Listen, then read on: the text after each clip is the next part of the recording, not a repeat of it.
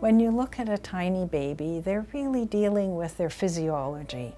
Imagine floating in space with all your needs looked after, then suddenly you come through the birth canal and you have to eat. And you have to pee, and you have to poo, and you haven't had much experience doing that, and you get funny sensations in your stomach that we know the baby's hungry, but the baby doesn't know. So those first weeks of life are really a physiological sorting out with the parent available to be able to calm the baby, to think through what might happen. So within that short space of time, usually the physiology is sorted out. The baby becomes familiar with eating and peeing and pooing. The parent becomes familiar with the baby's signals and gains some confidence in being able to do these things. And a little bit of a rhythm develops between the two.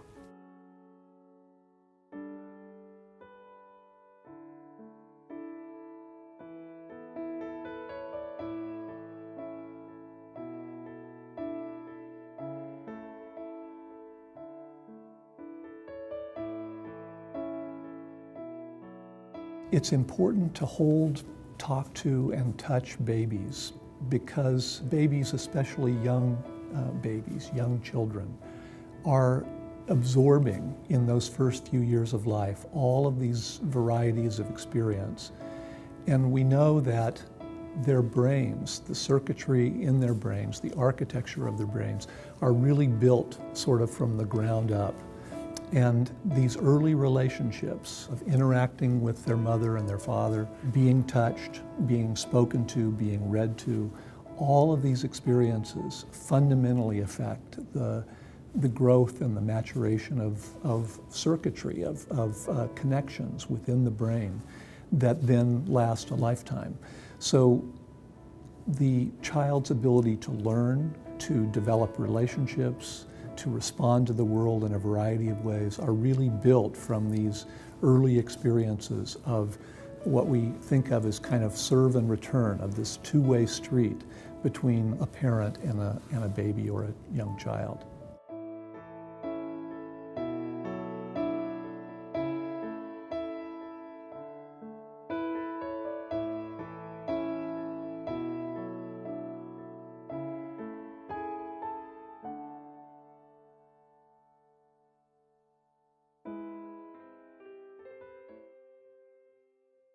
Of the neatest things, what a baby sees when you're calming a baby and helping put them into a quiet alert state is of course the face of the person who's holding them. And babies love faces from the moment they're born. Sometimes they focus better than other times, but that's a distance that's ideal for the development of the visual system at that point in development. And they scan those faces. So they learn about faces in general, and they learn about the faces of different people in their worlds. When babies look at faces, they like all the features of faces, they like eyes, but a newborn baby is likely to scan the most at the areas of high contrast. So you're trying to look into their eyes, and sometimes they'll look back into your eyes, but more often than not, they're going to be scanning your hairline. There's high contrast there. They explore all the features of a face and they can see them even when they're looking at, at the hairline, but it's, it's not that the baby isn't good at making eye contact if you see that happening in a newborn baby. And one of the things that's really interesting, first shown by Andy Meltzoff, is that from the moment they're born, babies will imitate some of these facial gestures. He showed it first with tongue protrusion. So if you stick your tongue out over and over again at a newborn baby who is looking at your face, you'll gradually see a little bit of a tongue. Or if you open your mouth, you'll see a little bit of imitation. So there's some kind of communication going on and a kind of dyadic interaction um, from the very beginning. It's really important that parents do what I've seen you two doing. Talk to their babies. You said Ethan likes to be talked to all the time. Mm-hmm. And, and he really is learning.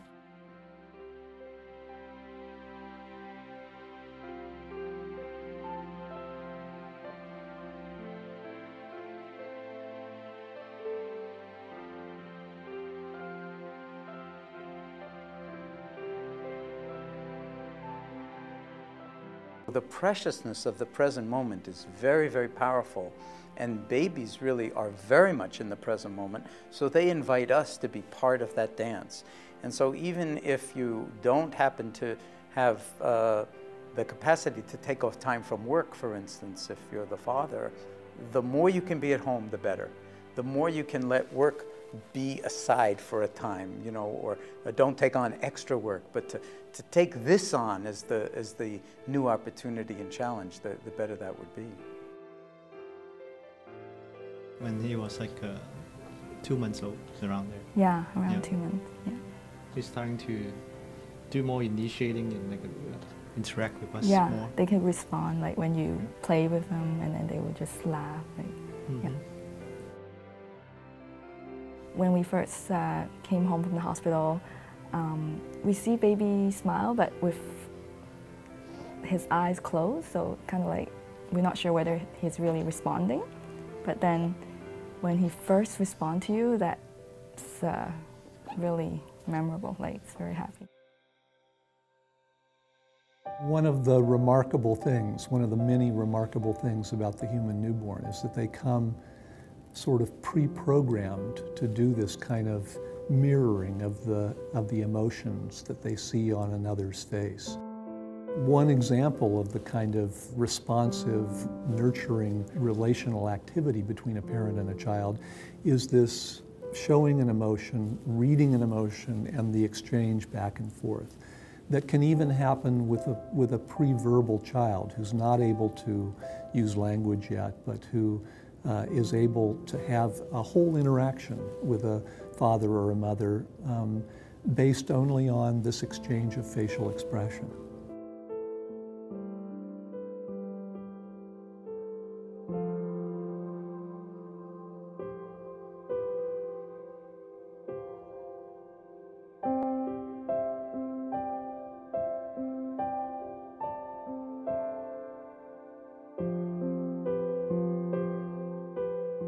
What's really interesting is that although um, Ethan isn't speaking at all yet, and he's not likely to produce his first word for many months, he does listen to your voice. And in listening to your voices and the speech around him, he's actually learning a lot about language. So every time you talk to him, he's listening. He learns about the rhythm of Cantonese and English. He learns about the sounds in each, and we document that in some of our studies. He learns about your voice, that's my dad, that's my mom, as opposed to other people in the world and who he can trust. Um, and then gradually he starts pulling out words. And what's really interesting is in the presence of a word, he'll explore other things in the world more. So when he looks at a tree, he'll see it and it's beautiful.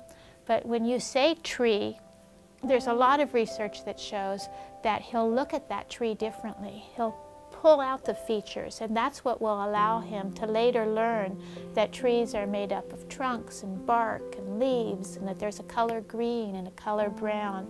So in the presence of language, babies actually explore more.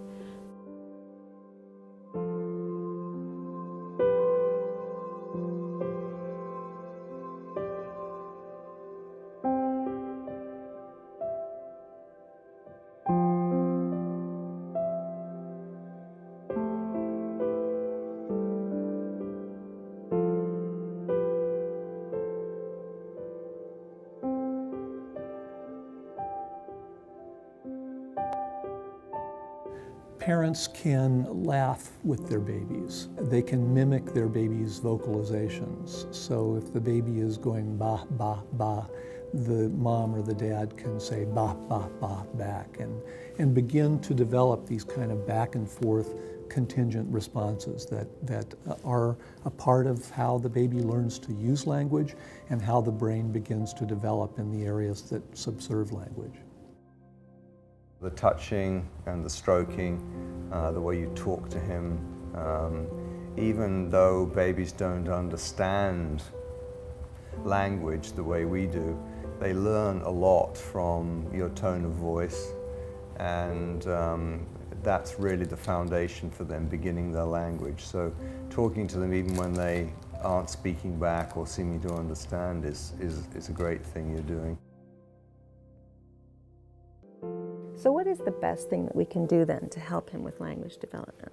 Exactly what you're doing is to be responsive to him, to take turns in conversations, to speak to him um, in a way that keeps him interested in what you're talking about. Each baby gets used to um, a number of things that they particularly like. Singing is good because it, uh, your body actually vibrates as you sing and they uh, uh, sense that vibration. Um, some people say it reminds the baby of the feeling the heartbeat when they were, they were in the womb. Tumbalala, tumbalala, tumbalalaika. Tumbalalaika, spielbalalaika. Tumbalalaika, vredig zal zijn. How does he respond when you sing? What Oh, you he loves it, and he, he he starts to you know he coos along and tries to imitate what I'm saying. And this is why speech and cooing and singing is actually good right from the word go, because Mhm. babies come out ready to learn, ready to experiment and try things. I guess he really likes listening to my voice because he's been hearing it since you know way before he emerged into the world. So he can he can hear my voice from if somebody else is holding him and I'm in the other room. He always like looks towards Sure. it, and trying to figure out where I am and stuff. So yeah, it's another example of the way babies are learning the whole time. They ha- they take these cues that we may not think are terribly relevant, but Mhm. uh, they process them and they're very important for the day-to-day development. Same with uh, the words you use. He won't understand them, but he'll understand the tone and the Yeah. rhythm.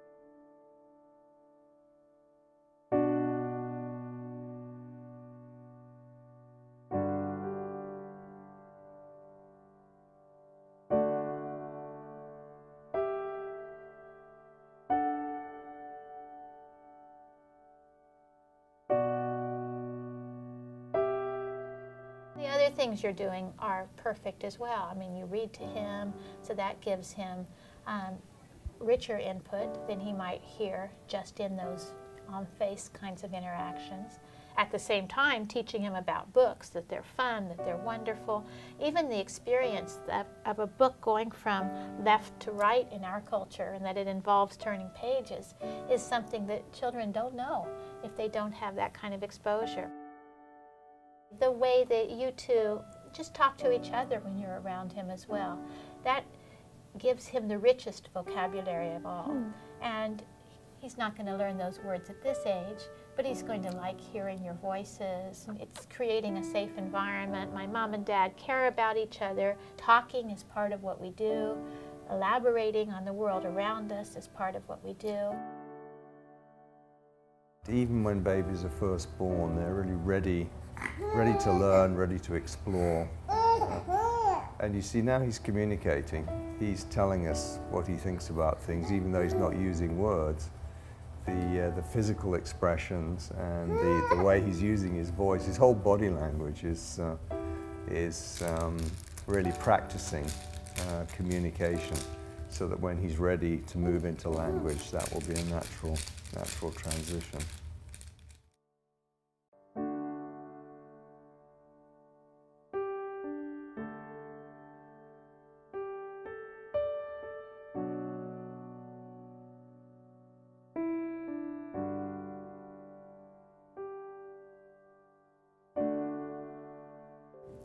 Certainly are aware that there are parental gender specific influences. First of all, we know that, that dads are just as important as mothers in attending to and caring for their children, even their young infants. It's very important that fathers understand that they have just as crucial a role to play in the lives of their children as those children's moms do. But it's also true that the gender of the parent and the gender of the child at certain stages of development makes uh, a difference. Little boys look to their dads and learn from their dads in ways that are powerfully influential in their acquisition of their roles in life, of their future roles as uh, fathers and parents in their own families. Being a first time mom has been full of surprises. To see uh, my husband interact with my daughter. I mean, he's a responsible guy, I'm still in love with him, and all of that, but I would have never guessed that he would be such a great dad, and he's embraced the change so beautifully. And so it's surprising to see the dad he is and the mom that I am. It's been wonderful. He wakes her up first thing in the morning. He's the one who looks at her every single day in the morning. He plays with her, he reads a lot to her, and if I'm worked up about work or something like that, he talks to her and tells her that mommy is just worked up because there's something coming up, but she'll be fine soon. So he does a lot of comforting, and that's been great. Children are little sponges for what they see their parents doing in the, in, in the life of the family around them. So seeing their dads read is an important influence on their interest in and willingness to acquire the ability to read. Having their fathers read to them is very important, not only emotional interaction, uh, social interaction with their parent, but also cognitively begins to help them understand the pleasure and the, and the fun of, uh, of reading. A father who cannot read can still interact with that child in ways that are important and helpful to the child. Uh, simply having a children's book and turning the pages and telling whatever story the father wants to tell about the illustrations in that book is a, is a tremendously helpful thing for a little child. We do read to him throughout the day. And every night, it's, it's part of his routine, so it, that way it's easy to remember and to do um, around bath time. So after he gets a bath, then he gets read to. He reads board books now because he likes to tear them and eat them. But we started reading to him before three months, probably around two months old. Actually, before then, because your mother read on the night you were born to him. That was his first book He when he was three weeks. three weeks old. Yeah. He likes the books when they're. It's like starts with bubbles, bubbles on your nose, and then we go through all the different parts. Bubbles, bubbles on your toes. It's neat when they can refer to body parts and then you can touch them or touch his knees. Yeah, and touch his knees, the different body parts. I mean, that's perfect. You have his attention engaged. He's in there with you in that conversation. And then at the end of each sentence, you were using the word that labeled the body part, and you were using it with an input directed type intonation. I mean, that is ideal for language acquisition.